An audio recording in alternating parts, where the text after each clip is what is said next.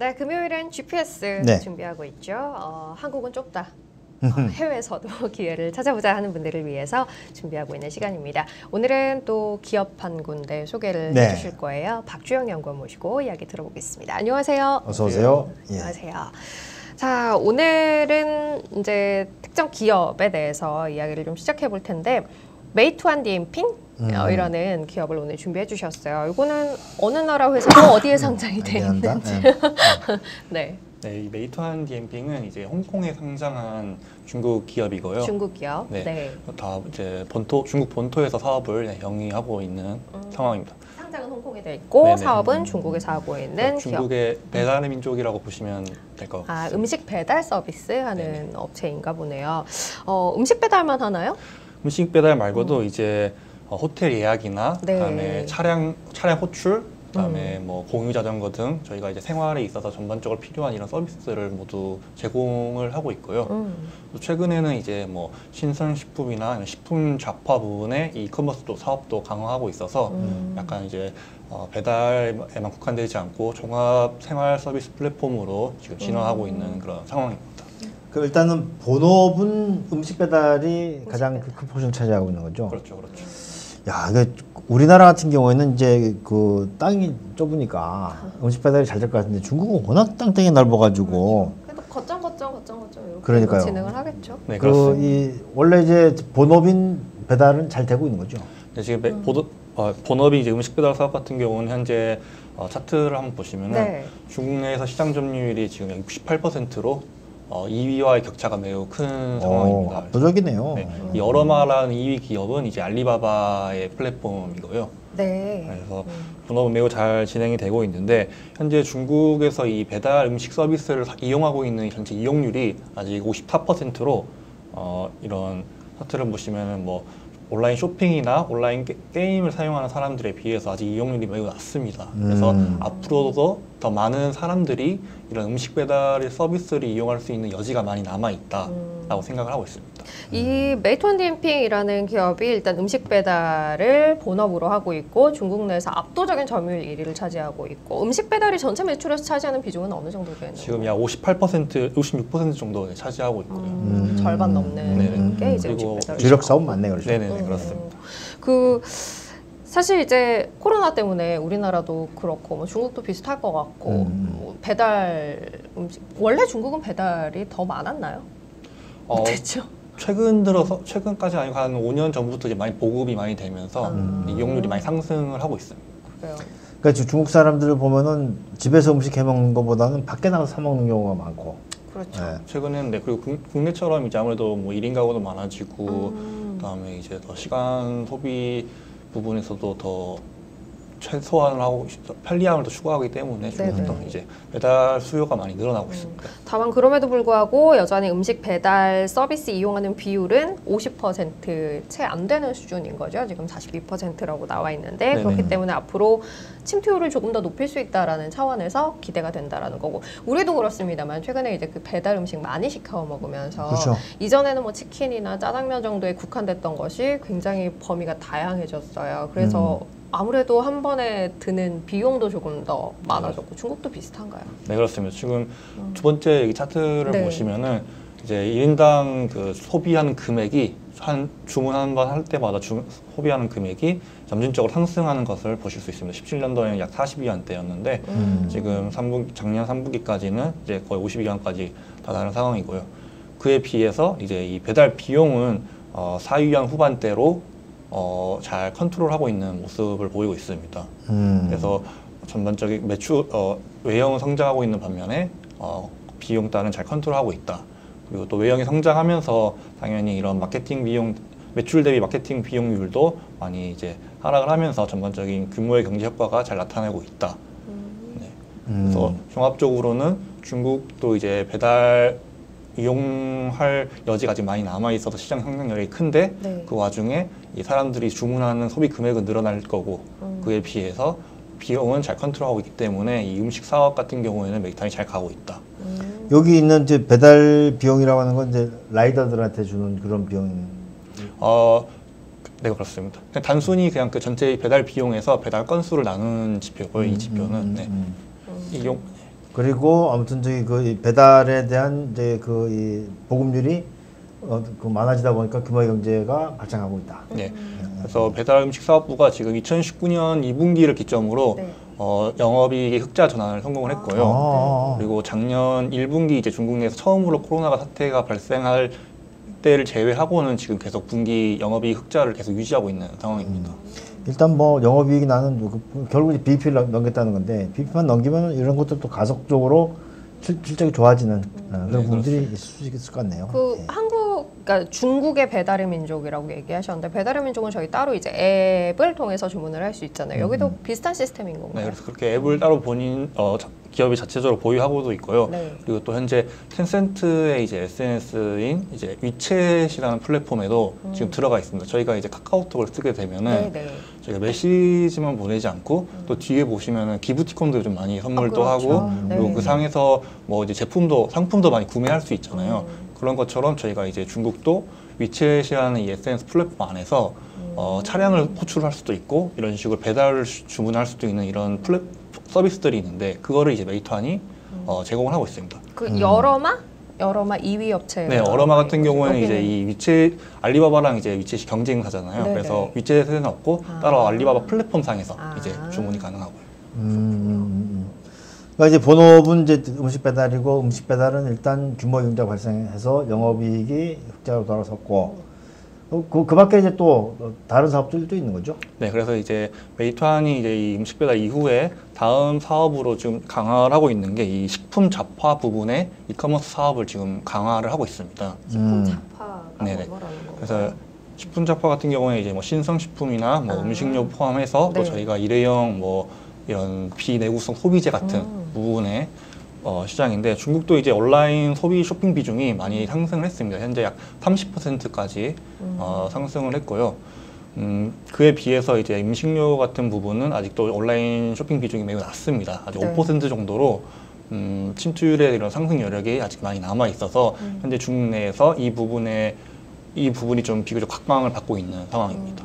그 음식료의 비중, 그러니까 전체 소매 판매에서 온라인의 비중은 30%까지 늘어났는데 음식료 전체 소비에서 온라인 판매 비중은 5% 정도밖에 안 네네네. 된다는 거죠. 이거는 뭐 특별한 이유가 있는 걸까요? 아무래도 신선식품 자체가 음. 이제 배달이 이제 시- 뭐 상, 그런 신선도 유지 부분에서도 아직 좀 인프라가 잘 갖춰져 있지 않고요. 음. 아, 그다음에 아무래도 물- 빠르게 배, 빠른 배송 당장 저희 네. 다음 날 먹어야 되는데 그런 배송도 아직 그 동안에는 이제 쉽지 않았던 거죠. 음. 아마 신선식품은 확인하고 싶어 하는 맞아요. 눈으로 확인하고 싶어 하는 이제 그런 게 어, 있을 것 같아요. 아, 그럼에도 불구하고 우리나라는 코로나를 거치면서 그 신선식품 배달 온라인 구매가 굉장히 많이 늘어났기 때문에 그거가 여기서는 아직까지 많이 늘어나지 않은 이유가 뭔지가 궁금했는데 아마 그 물류 체인이라든지 뭐 신선도 유지 시스템이라든지 그런 게 조금 문제가 있었다라는 것 같고 네네네. 그러면 그걸 잘 해 나갈 수 있을 것 같다는 게 앞으로 이 메이투안 디엔핑에 대한 기대인 건가요? 그렇습니다. 어, 이제 메이투안 디엔핑뿐만 아니라 사실은 이제 이 중국 대형 업체들이 플랫폼들이 이런 식품 잡화 부분을 좀 같이 계속 강화를 하고 있는데 네. 어, 저희가 이제 기존의 전자상 거래에서 네. 아무래도 식품 아- 방금 말씀드렸지만은 뭐 빠른 배송도 필요하고 음. 신선도 유지 같은 부분에서 많이 어, 요구를 하는 반면에 어, 콜- 중국은 콜드체인이나 이런 인프라가 잘 갖춰져 있지 네네네. 않기 때문에 현재 중국 업체들이 지금 주로 지금 채택하고 있는 방식이 이 거점 물류 기지를 네. 최종 소비자와 가까운 곳에 두는 방식을 지금 두고 있습니다. 이게 음. 어떻게 말 보면은 네. 저희가 이마트의 쓱닷컴을 네. 사용을 하게 되면은 일부분 같은 경우에는 이마트가 저희 근처에 있는 오프라인 매장에서 그렇죠. 패키징을 네. 해가지고 이렇게 송 음. 저희한테 배송을 하는 방식을 어, 일부분 지금 사용을 하고 있는데 어, 중국 같은 경우에도 이런 식으로 소비자 근처에 있는 오프라인 매장을 이제 활용을 하는 겁니다. 음. 다만 그 과정에서 뭐 이마트는 이제 오프라인 매장을 직접 보유하고 있잖아요. 음. 근데 이제 중국 같은 경우에는 어, 보유하고 있는지 여부와 그리고 이게 이제 단순히 매장이 아니라 창고를 가지고 있을 수도 있거든요. 그렇죠. 그래서 이런 방식에 따라서 약간의 비즈니스 모델이 다양하게 지금 파생이 된 거, 된 음. 상황입니다. 그러니까 직영한다기보다는 이제 가맹을 맺어가지고 어, 그래서 그 가맹점에서 이렇게 가까운 데서 가맹, 가맹도 하는 경우 있고 직영을 하는 경우도 있고, 음. 네, 그다음에 음. 또 그냥 매장이 아니라 창, 단순한 창고일 수도 있고. 모델 뭐 여러 가지 사업 모델을 가지고 이미 요 신선식품이라든지 식품 자포와 관련한 사업을 하는 업체들은 있겠죠. 있을 것 같아요. 네네. 그래서 음. 많이 지금 현재 진출을 이미 한 상황이고요. 음. 그래서 비즈니스 모델별로 좀 설명을 드리면 네. 어, 크게 지금 기존 전자상거래에서 네 가지가 파생이 됐는데 네. 우선 이 마켓플레이스라는 이두 번째 모델 같은 경우에는 이 플랫폼이 어, 본인은 이제 매장을 보유하고는 있지 않고요. 단순히 연, 연결을 해주는 연결고리 역할을 해주는 건데 예를 들어서 저희 주위에 있는 뭐 월마트라든지 뭐 까르푸 뭐 어떤 매장들을 최종 소비자들이 자기네들의 플랫폼을 통해서 주문을 하게 해주는 거고요. 음. 그렇게 되면은 이제 뭐 월마트가 주문을 받으면 자기네들이 배송을 하는 시스템. 뭐 오픈마켓 같은 일종의? 네, 네 음. 그렇습니다. 네. 그리고 두 번째 같은 경우에는 이제 어, O2O 창고나 물류가 있는 어, 물류가 있는데 이제 이거 같은 경우에는 뭐 이제 이마트에 이마트 같이 뭐 본인이 매장을 보유하고 있고 온라인 상에서 주문을 받으면 배송을 하거나 혹은 창고를 보유하고 있는데 이제 배송을 하는 경우인데 이게 이제 아무래도 빠른 배송도 가능하고 재고 관리 부분에서도 좀 더 우위에 있다고 볼 수 있습니다. 음. 그리고 마지막으로 공동 무- 구매 같은 모델이 있는데 이거는 좀 이제 물류 인프라 이 물류 시스템보다는 음, 좀 중소, 중국의 중소형 도시 시장을 타깃으로 하는 모델인데 공동 구매 방식으로 이 가격을 조금 더 저렴한 상- 저렴하게 자- 어, 구매할 수 있다는 장점이 있고요. 그리고 중국 중소형 도시 같은 경우에는 아무래도 그런 대형 마트가 이런 부분이 좀 잘 갖춰져 않, 있지 않기 때문에 인프라가 뭐 정말 작은 뭐 예를 들어 구멍가게라든지 혹은 정말 작은 체인 슈퍼 같은 걸 활용하는 이런 모델이라고 보시면 될 것 같습니다. 음, 그렇군요. 이게 뭐 그 이 비즈니스 모델이 하나, 둘, 셋, 네 가지. 그렇죠. 크게 네 가지. 기존에 이- 있던 거 일반 전자상 거래 같은 음. 다섯 가지 이렇게 있는데 근데 이야기를 하다 보니까 이 메이탄의 저기 그 히스토리를 좀 알고 싶어요. 어, 어떻게 저기 저그 창업이 됐고. 아, 메이타는 이제 어, 텐센트가 주요 투자자로서 어, 이 SNS 텐센트의 위챗이라는 SNS 기반으로 많이 성장을 한 음. 경우인데요.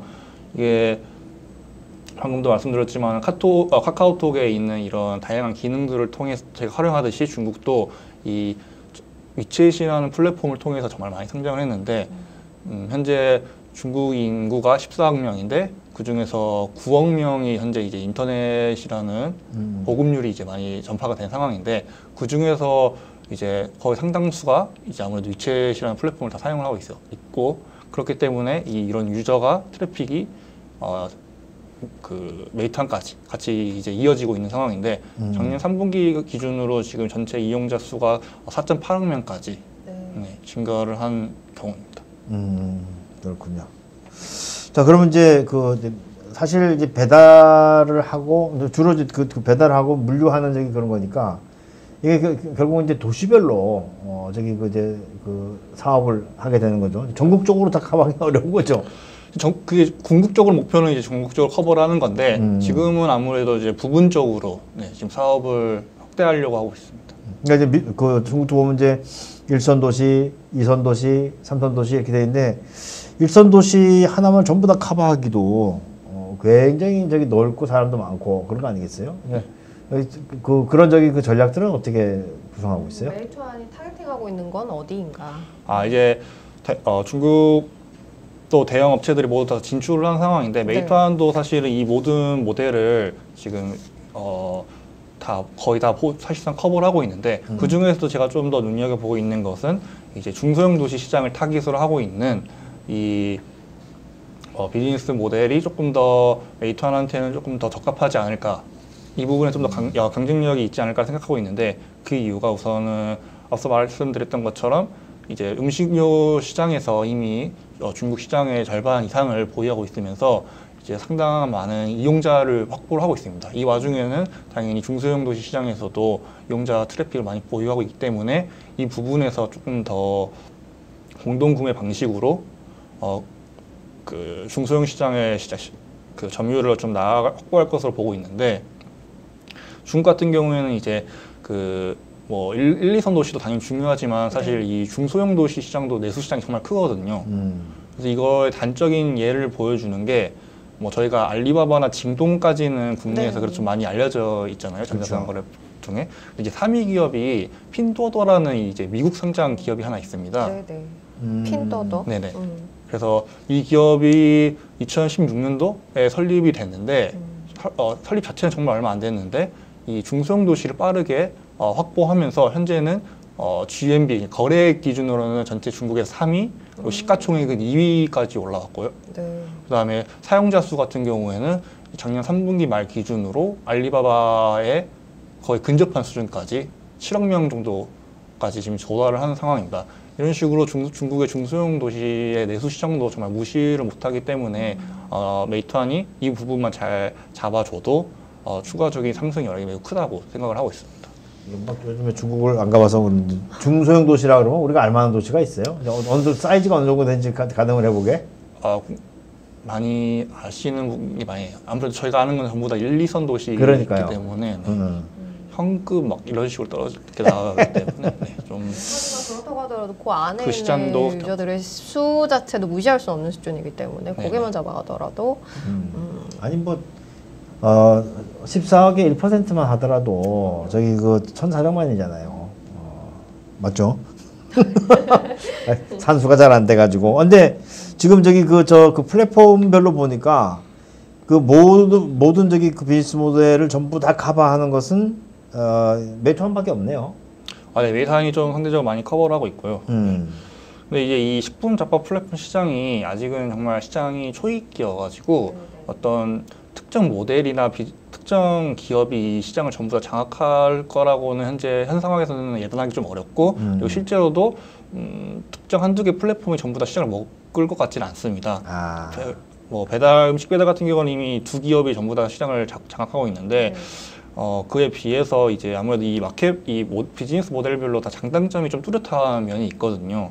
뭐 marketplace 같은 경우에는 아무래도 확장성이 넓죠. 저희 주변에 있는 모든 매장을 다 이용할 수 있는 이론적으로 이용할 수 있기 때문에 협업을 통해서 그다음에 또 공동 구매 같은 경우에는 좀 중소형 도시 좀더 타깃이 좀 더 집중화돼 있고 그다음에 O2O 이런 매장 같은 경우에도 어, 빠른 배송이나 품질 관리가 조금 더 용이하기 때문에 이런 부분에 장단점이 뚜렷해서 아직까지는 뭐 특정 플랫폼이 성장할 거라고 장악할 거라고는 좀 보기 어렵지만은 음. 어, 확실한 거는 이제 올- 이런 식품 작파 시장도 시장 영향력이 큰데 이런 대형 플랫폼 업체들이 아무래도 자본력에서 훨씬 우위에 있고 그다음에 이런 유저들을 확보할 수 있는 능력도 왜냐면 기존의 사업들에서 이미 유저를 유저들이 충분히 보유하고 있기 때문에 이런 경쟁력에서 고려한다면은 앞으로 이 중국 대형 플랫폼 업체들이 결국에는 또 이들이 또 수혜를 받을 것이고 그 중에서 메이트안도 포함되어 있다. 예, 아직까지 이런 것들이 이제 그 이 우리 그 중국 사람들 삶에 이제 들어가 그, 어, 그 착근되는 그런 저기 그 초기이기 때문에 어째 말씀하시다 보니까 뭐 제 느낌만 그런지 모르겠지만 좀 사업 모델들이 좀 잡다하다. 아, 네네. 어, 너무 많다. 네네. 아, 예. 그러니까 사실 뭐 우리 저 카카오 같은 경우도 사업 모델들을 여러 가지 해가지고 그 중에 이제 뭐 drop시키는 drop시키고 살아나는 것들은 이제 사업을 키우고 이제 그런 뭐 그런 게 되겠죠. 예. 네, 그렇습니다. 근데 이제 문제는 이제 우리가 이제 홍콩에 있는 기업이라서 기업의 어떤 뭐 그 재무적인 내용이라든지 아니면 최근에 주가 움직임이라든지 또 밸류에이션 수준이라든지 예, 이런 것을 이제 전혀 모르니까 그런 것도 좀 한번 알아봤으면 좋겠어요. 아, 네. 최근 이제 메이퇀 주가도 이제 아무래도 메이퇀도 성장주에 포함되어 있고 그래서 조정을 조정을 좀좀 많이. 받고 네. 있습니다. 네. 그래서 그 부분 좀 아쉬운데 이 부분 또 오히려 중장기적으로 봤을 때 이런 성장력이 확실해서 지금 음. 네, 중장기적으로 좀 좋은 기회이지 않을까? 네. 식품 잡화 사업이 앞으로 중요하게 보고 계시는 어, 성장 모멘텀이라는 거죠. 지금은 여기서 매출이 발생하고 있기는 한가요? 매출은 발생하고 있지만 영업, 영업 적자가 좀 크고요. 음. 아직은 흑자는 안 됐고. 특히 21년 올해 같은 경우에는 더 이 적자 폭이 좀 더 커질 것 같습니다. 아무래도 음. 확장을 하고 있는 시기이기 때문에 그래요. 뭐 당장은 이제 어, 돈을 벌어들이고 있는 그 음식 배달 어, 쪽을 모멘텀으로 가고 있습니다만 긴 기간 본다면 어, 지금의 조정을 이겨낼 수 있을 만한 모멘텀으로 식품 잡화 쪽에서의 사업 모델을 기대해 볼 만하다라는 관점에서 오늘 메이투안 디엔핑 소개해 주셨어요. 홍콩 시장에 상장이 돼 있고요. 어, 최근에 주가는 뭐 작년 한 해 쭉 올렸다가 올랐네요. 네, 좀 꺾여 있는 상황이기는 합니다. 이 조정을 어떻게 이겨내는지 지켜보도록 할게요. 오늘 박주영 연구원 함께했습니다. 고맙습니다. 고맙습니다. 네. 키움증권 해외 주식 0.1% 수수료, 환율 우대 최대 95% 혜택 받자. 투자 시 원금 손실에 유의하세요.